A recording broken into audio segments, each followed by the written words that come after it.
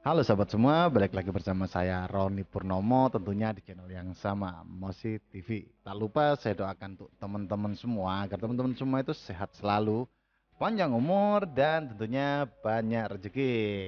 Di pertemuan kali ini kita seperti biasa ditemani oleh Abang Batman dan Abang Megatron, cuman sepertinya mereka lagi asik ngobrol berdua ya. Oke lah, nggak masalah kita tetap lanjutkan review atau ulikan kita tentang laptop yang akan kita bahas kali ini. Unitnya sudah ada di sebelah kiri saya, tentunya di sebelah kanan teman-teman sekalian. Sebelum saya sebutkan seri apa ini, kita cek dulu detail dari laptop ini. Ini dia.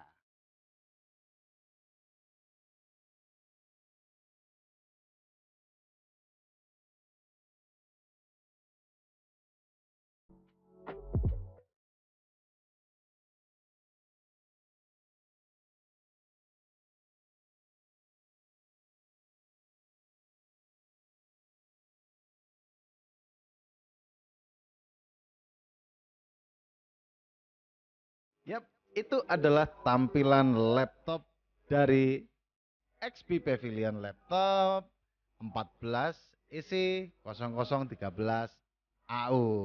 Keren ya untuk tampilan laptop dari Pavilion ini ya elegan banget lah ya.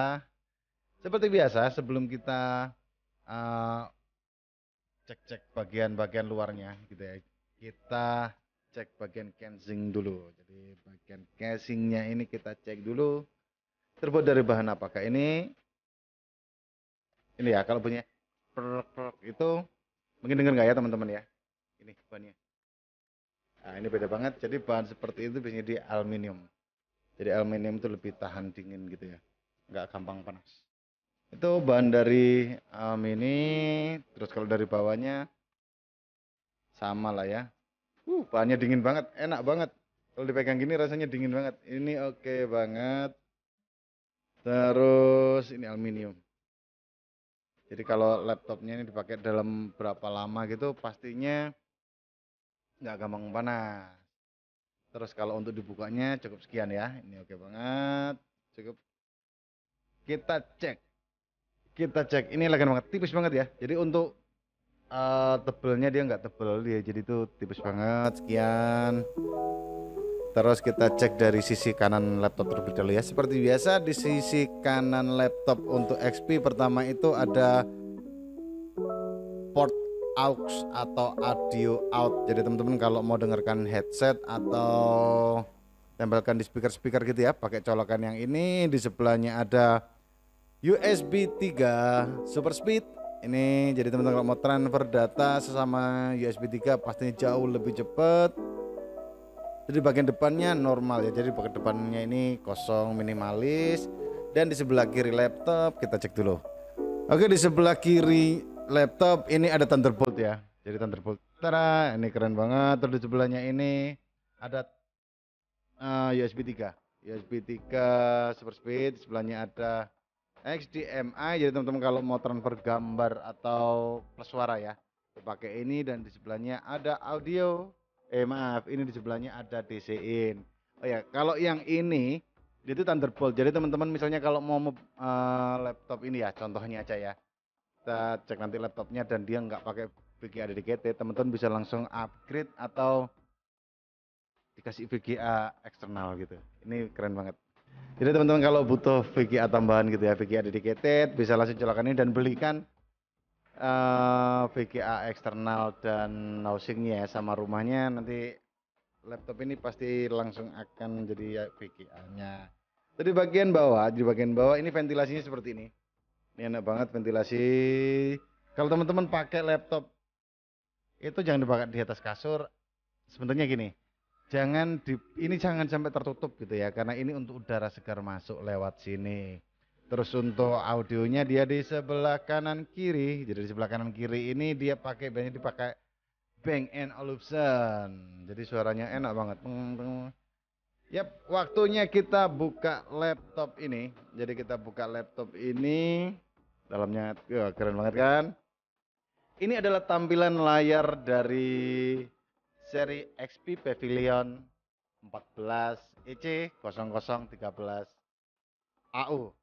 Oke, untuk layar laptop ini sudah memakai 14 inch diagonal Full HD 1920 kali 1080 IPS micro inch. Jadi di tepinya ini tipis-tipis banget ya. Dia pakai 0,6 0,6. Jadi benar-benar laptop ini laptop 14 dengan rasa 13. Uh, jadi enggak gede-gede amat gitu ya. Kalau, besar terlalu besar dibawa-bawa itu kan berat.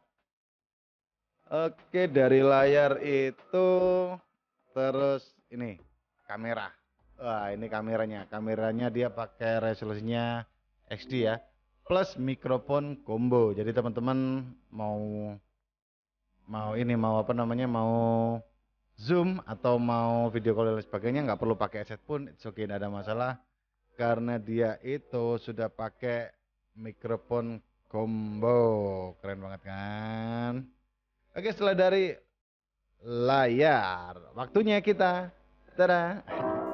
Oke, waktunya kita turun ke keyboard. Ini ya, jadi keyboardnya ini menurut saya keyboardnya keren banget.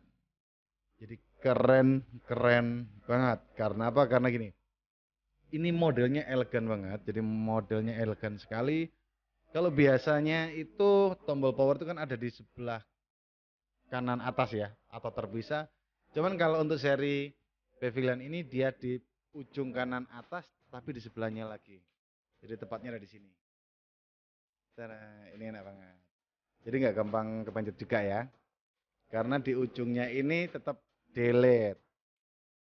Ini tetap delete. Ini keren banget. Terus yang spesial dari keyboard itu seperti biasa. Jadi untuk uh, untuk XP ini untuk keyboardnya agak sedikit ke dalam gitu ya. Jadi bikin kesannya kesan rata satu sama lain. Jadi sama bawahnya ini kesannya rata. Itu kalau teman-teman pakai laptop ini di tempat gelap teman-teman nggak usah khawatir nggak perlu takut. Karena apa? Karena kalau dipakai di tempat gelap teman-teman tinggal nyalakan atau tinggal pencet F11 pencet F11 tik maka keyboardnya ini akan nyala atau backlit keyboard tang keyboardnya nyala itu keren banget terus untuk apa ini untuk touchpadnya juga gitu untuk touchpadnya ini lebar ya, touchpadnya lebar. Dia juga sudah multi gesture control seperti biasa, jadi geser ke atas ini untuk turun slide, turun gitu ya, untuk scroll ke bawah. Kalau ke atas gini dia untuk uh, scroll ke atas. Kalau untuk zoom in, zoom out, tinggal dibuka dan kecilkan gini tangannya, otomatis akan ke zoom in atau ke zoom out. Setelah dari touchpad, di sebelah kanannya lagi itu ada yang namanya fingerprint. Jadi laptop ini sudah dilengkapi dengan fingerprint. Dan di sebelahnya fingerprint ada tulisannya BNO itu artinya Bang Olufsen ya. Jadi untuk speakernya. Jadi teman-teman kalau fungsinya fingerprint ini kalau mau buka laptopnya tinggal tekan taruh di sini. Taruh di fingerprint jarinya otomatis laptopnya akan terbuka. Saya kira itu dari sini ya. Dari tampilan depan, keyboard dan sebagainya itu it's time.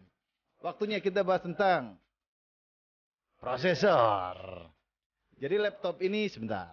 Sebelum saya lanjutkan tentang prosesor, kita memang sengaja ya nggak nggak bahas tentang TDP terus dan sebagainya yang terlalu mendetail gitu kita nggak terlalu bahas tentang itu karena menurut kita itu yang lebih penting itu lebih cenderung di ini prosesornya apa sih ya gitu. Untuk aplikasi yang akan kita pakai apa. Jadi bukan untuk persaingan produk antara satu dengan produk yang lain seperti itu ya. Oke kita lanjutkan bahas tentang prosesor.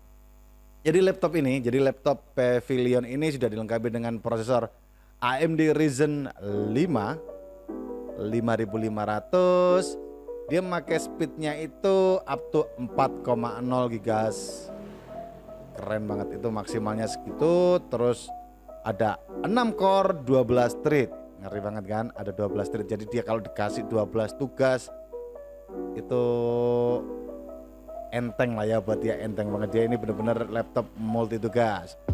Belum lagi laptop ini sudah disupport dengan memori RAM itu sebesar 16 GB oh, keren banget kak jadi memori RAM-nya sudah 16 GB DDR4 untuk memori RAM-nya sendiri dia memakai speed 3200 MHz keren.